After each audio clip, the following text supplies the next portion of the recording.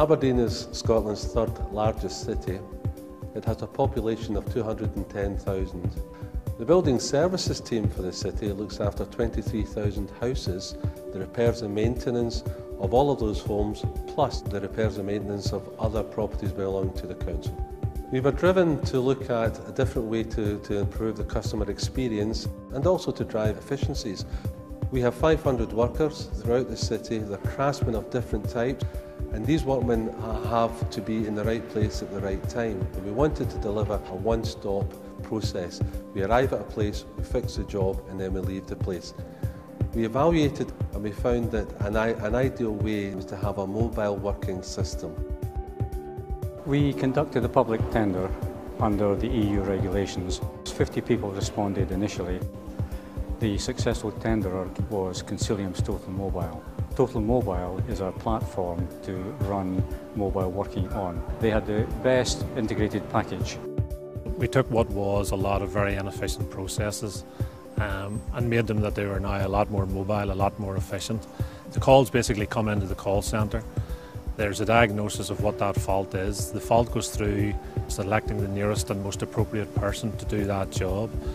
The person then gets that job to their device, the MC55. To be able to com complete that work using material in their van, their timesheets is recorded on the device. That's all brought back into their back office systems without the men coming back into site. So from what was previously a lot of inefficient time being wasted, Aberdeen using Total Mobile has completely um, revolutionised that. But we have a good relationship with Motorola. But we found that the MC55, very good device to work with, very rugged. Our software just simply plugs and plays on it. The MC55 is one in a family of enterprise digital assistants. Aberdeen Council was particularly interested in them because they trialled consumer devices, found they weren't robust enough.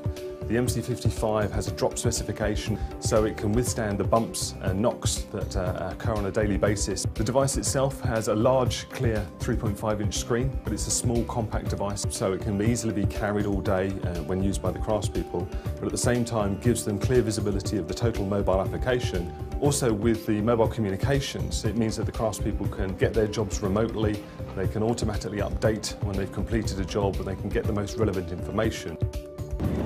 You sign your van out from your house in the morning and then you get your first job sent to you if you need materials. If you haven't got it in the van, you can use the device to get your materials sent directly from the stores to the job. It will then come through on this handheld here, which you can see here. I've actually got a list of all the stuff that somebody's actually used during the day. You've got barcodes on here. You've got a barcode scanner on the end. I just say one or two of those, do the barcode on there, and it will come off my stock here and go out to the van. You happy enough with that job? Yes. So what I'll do is I'll complete a job and yes, all the job was done how you wanted it. Next, and then I'll get you to sign here. And then I can request my next visit, accept the job, and then I'd say I'm on my way. The system is excellent. It's helped us to, to be a more efficient service and it's helped us to drive proper performance indicators. We have promised to deliver 95% of the repair services within uh, 24 hours.